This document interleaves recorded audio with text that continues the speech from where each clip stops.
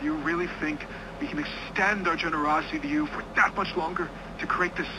I don't know. I don't know. What do you what do you call it? A game? I can't even tell. I'm saying we're done. We're not putting up with this project anymore. Unless you can pitch something to us that is the technical marvel you describe, I don't want to see it. We cannot keep sinking money into this.